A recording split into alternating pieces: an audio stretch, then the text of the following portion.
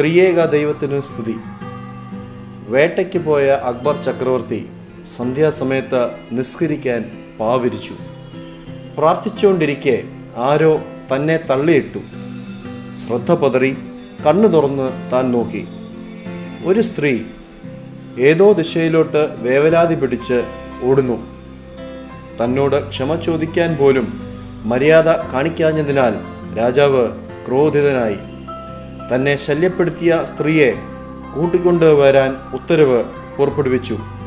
എന്നാൽ അതേസമയം ആ സ്ത്രീ അവളുടെ ഭർത്താവിനോടൊപ്പം തിരിച്ച് വരുന്നതായി കണ്ടു. രാജാവിന്റെ പ്രാർത്ഥന മുടക്കിയതിനാൽ താൻ സ്നേഹിക്കുന്ന പുരുഷനെ കൊല്ലാൻ രാജാവ് തീരുമാനിച്ചു. എന്നാൽ സ്ത്രീയുടെ ചോദ്യം രാജാവിനെ പരവശനാക്കി. രാവിലെ വീട്ടിൽ നിന്ന് പോയ പുരുഷനെ കാണാഞ്ഞപ്പോൾ ഞാൻ എല്ലാം മറന്ന് അദ്ദേഹത്തെ മാത്രം മനസ്സിൽ ധ്യാനിച്ച് ഓടി. ആയതിനാൽ അദ്ദേഹം രാജാവാണെന്നോ നിസ്കരിക്കുകയാണെന്നോ ഞാൻ ശ്രദ്ധിച്ചില്ല. എന്നാൽ സർവശക്തനായ അള്ളാഹുവിനെ മനസ്സിൽ ധ്യാനിച്ച് കൊണ്ടിരിക്കുമ്പോൾ എന്നെപ്പോലെ ഒരു സാധാരണ സ്ത്രീ വന്ന് ശല്യപ്പെടുത്തിയപ്പോൾ അദ്ദേഹത്തിന്റെ ശ്രദ്ധ എങ്ങനെയാണ് പതറിപ്പോകുന്നത്? അദ്ദേഹം അള്ളാഹുവിന്റെ മുൻപാകെ ഇരിക്കുമ്പോഴും രാജാവ് എന്ന അഹന്തയോടുകൂടെയാണോ ഇരിക്കുന്നത്? അക്ബർ രാജാവ് അവരുടെ മുൻപാകെ കൈകൂപ്പി തല വണങ്ങി എന്നിട്ട് സ്വന്തം കൊട്ടാരത്തിലേക്ക് മടങ്ങിപ്പോയി. ശ്രേഷ്ഠമേറിയ നോമ്പിന്റെ അവസാന ഭാഗത്തേക്ക് നമ്മൾ എത്തിയിരിക്കുകയാണ്. ഇന്ന് സഭാപിതാക്കന്മാർ ഹോശാന പെരുന്നാൾ ക്രമീകരിച്ച് നമ്മുടെ ധ്യാനത്തിനായി ക്രമീകരിച്ചു വെച്ചിട്ടുള്ള വിശുദ്ധ വേദഭാഗം പരിശുദ്ധ യോഹന്നാൻ സ്ലീഹായുടെ സുവിശേഷം പന്ത്രണ്ടാം അധ്യായം പന്ത്രണ്ട് മുതൽ പത്തൊൻപത് വരെയുള്ള വേദഭാഗമാണ്.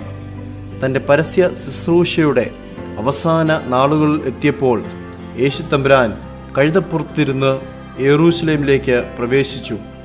രാജാവിനെ സ്വീകരിക്കുന്നത് പോലെ ജനമെല്ലാം യേശുവിനെ ഹോസന്ന പാടി സ്വീകരിച്ചു. ഹോസന്ന എന്ന വാക്കിന്റെ അർത്ഥം ഞങ്ങളെ രക്ഷിക്കണമേ എന്ന്. റോമ അടിമത്വത്തിൽ ആയിരുന്ന ജനം യേശുവിൽ ഒരു രാജാവിനെ കണ്ടു.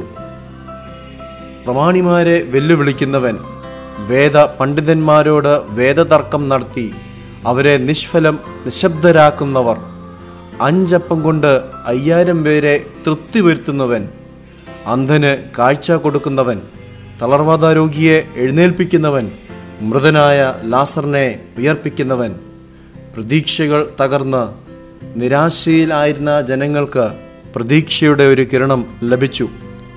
പ്രവാചകന്മാർ ആരെക്കുറിച്ച് പറഞ്ഞുവോ? ദാവീദിന്റെ വംശത്തിൽ പിറന്ന മഷിഹ ഇവൻ തന്നെ എന്ന് ജനം ആർത്തു വിളിച്ചു. രാജാവിനെ വരവേൽക്കുന്നത് പോലെ യേശുവിനെയും ഹോശന്ന പാടി അവർ സ്വീകരിച്ചു.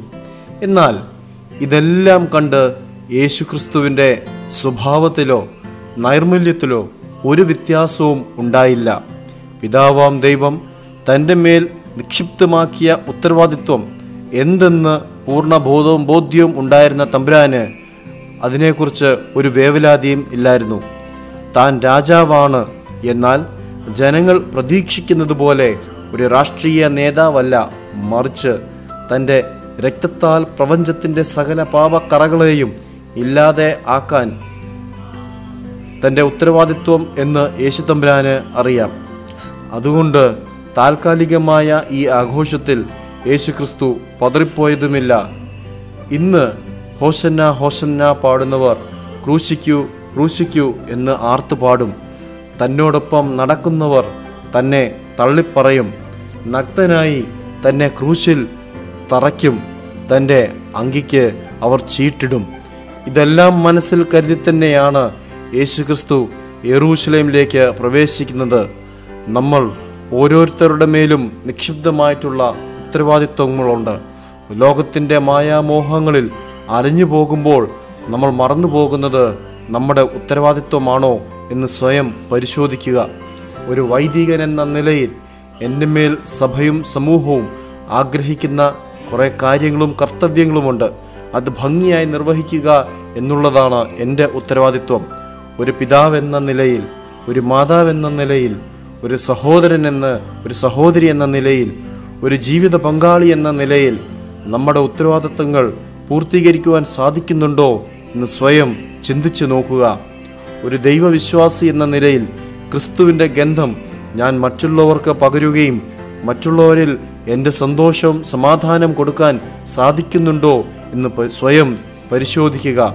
കാൽവറി മലയിൽ ക്രൂശിൽ പിടഞ്ഞ് തന്റെ പ്രാണവായു വിടുന്നതിന് മുൻപായി യേശു തമ്പുരാൻ പറയുന്ന ശ്രേഷ്ഠമേറിയ വാക്കുകൾ സകലവും പൂർത്തിയായി.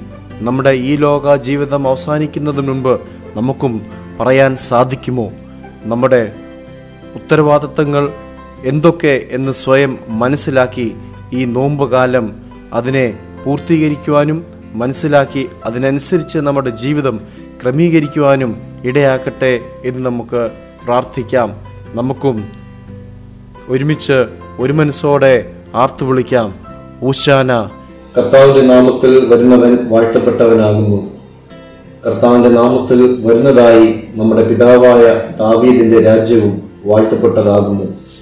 സ്വർഗത്തിൽ സമാധാനം ഉന്നതങ്ങളിൽ സ്തുതി അത്യുന്നതങ്ങളിൽ ഊശാന. അമേ